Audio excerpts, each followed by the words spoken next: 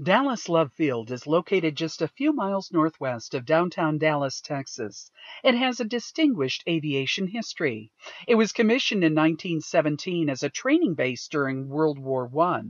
The airport is named for Army Lieutenant Moss Lee Love, who died during flight training in California. It was busy until the opening of Dallas Fort Worth International Airport. An amendment to the International Air Transportation Act of 1979, called the Wright Amendment, restricted Love Field's passenger operations to destinations in Texas and neighboring states. The restrictions were gradually lifted until the law was repealed in its entirety in 2014. Today, passenger aircraft fly to destinations all over the country. Love Field has two runways and is the headquarters for Southwest Airlines.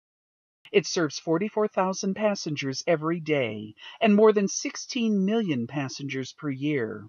Annual takeoffs and landings at Love Field are about 230,000 annually. It also brings in customers from every corner of the world on its reputation for high quality maintenance and aircraft finishing services. Those services mean that Love Field is a busy corporate and general aviation airport that brings jobs to the community. So, how does air traffic move into and out of Love Field? The Federal Aviation Administration oversees the safe and efficient movement of aircraft throughout the national airspace system, including Love Field. The FAA continually updates and modernizes its services to improve how pilots and air traffic controllers see, navigate, and communicate with each other. First, let's look at how airplanes fly. Aircraft take off and land into the wind. The runways at Love Field were built to take advantage of the prevailing winds in the area. The wind patterns mean that in the summer, aircraft often take off to the south, and in the winter, aircraft more often take off to the north. However, these patterns can change depending upon weather, traffic volume, and runway repair or construction. Even though a runway is a single strip of pavement, it's treated as two separate surfaces. Runways are identified by the compass heading the aircraft is facing as it lands or takes off.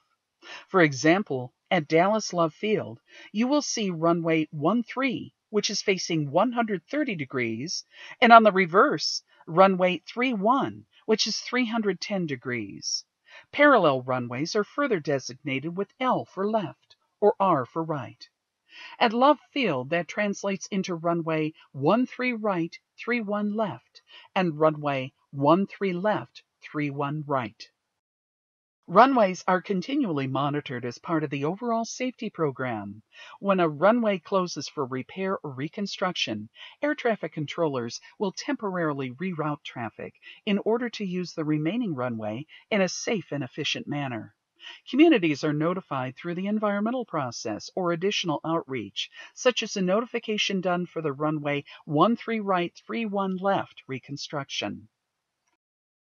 At Love Field, construction will shift traffic to the other runway.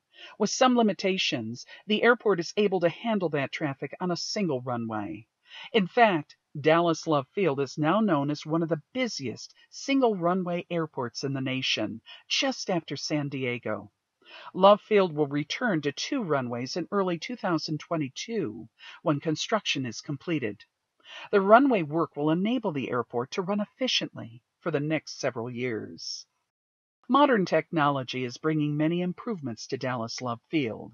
The airport's close proximity to Dallas Fort Worth International Airport creates busy and congested airspace.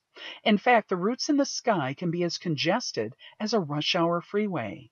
This means that air traffic routes are carefully choreographed, with each aircraft movement being determined by the flow of traffic around it. Together, air traffic controllers and modern satellite technology ensure that every flight into and out of the Dallas Fort Worth metropolitan area is guided safely to its destination.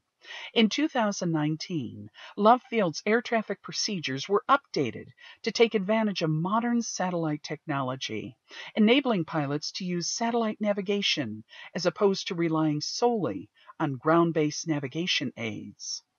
These new procedures create more predictable routes, enabling pilots to pass specific points in space at exact intervals, keeping traffic safely separated in three-dimensional space. Satellite-based procedures also reduce the amount of spoken communications needed between pilots and controllers, allowing for an increased focus on aircraft positioning and performance. The airspace is used more efficiently, reducing delays, and can increase airport access in all weather conditions. It also brings the airport up to date on the current procedures used at other airports nationwide, enabling traffic to move more efficiently between departure and arrival points. This is important in an area like Dallas, where Love Field's takeoffs and landings have to work closely with the runways at Dallas Fort Worth International Airport as well as other airports in the area. One of the new procedures is called Optimized Profile Descent, or OPD. It enables an aircraft to descend on a continuous vertical path instead of the traditional procedure, which required the pilot to level off, slow, and descend in intervals.